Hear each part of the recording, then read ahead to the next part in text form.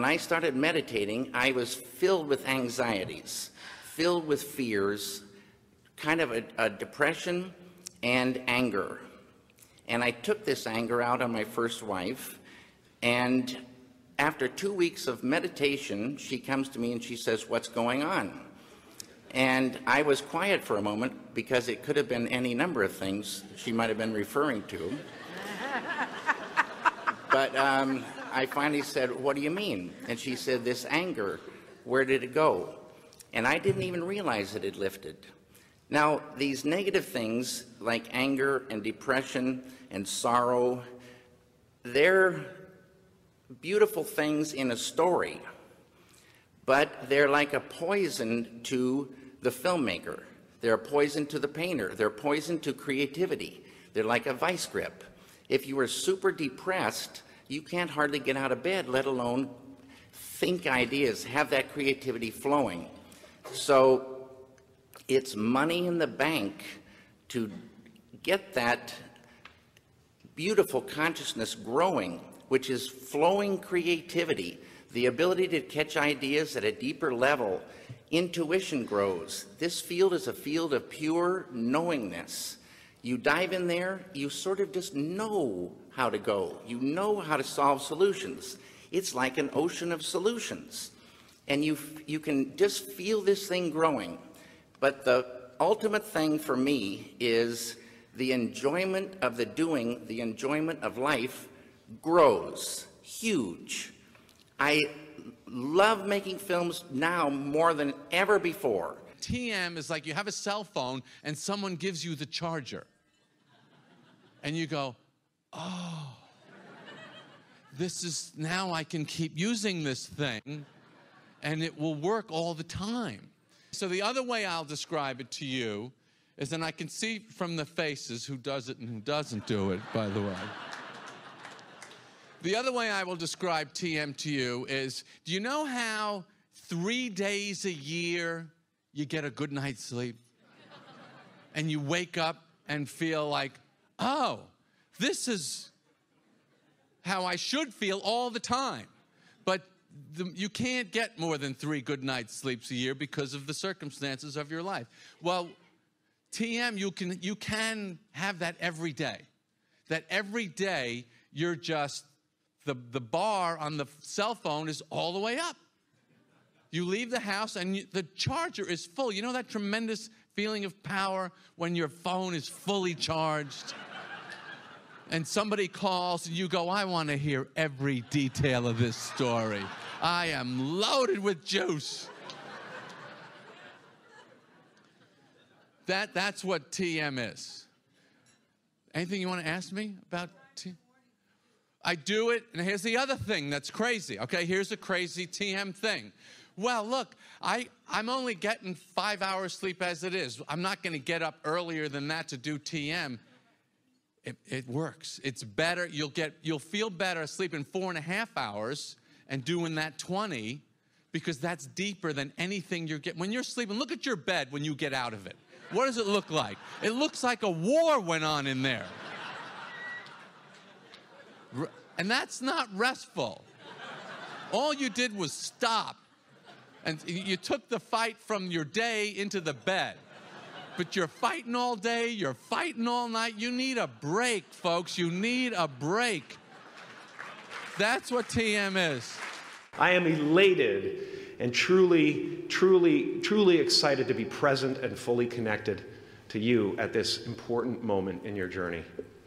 I want to thank the trustees, the administrators, the faculty of MUM for creating an institution worthy of Maharishi's ideals of education, as well as enabling the students through transcendental meditation and ancient Vedic knowledge to slack off twice a day for an hour and a half.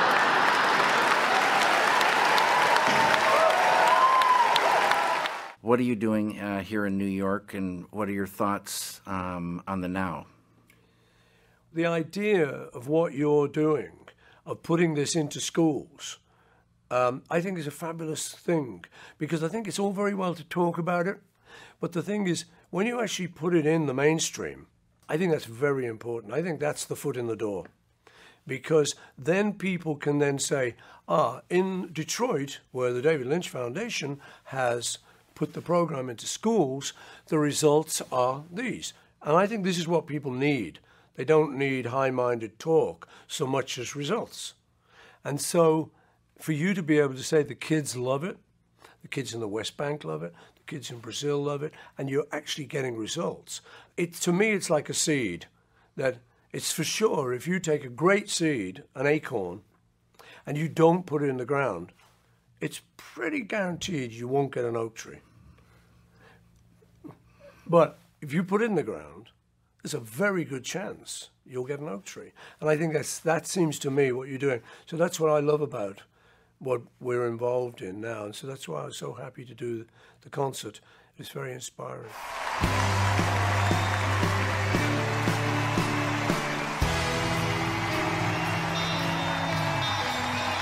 What would you do if I sang out tune? Would you stand up and walk out on me?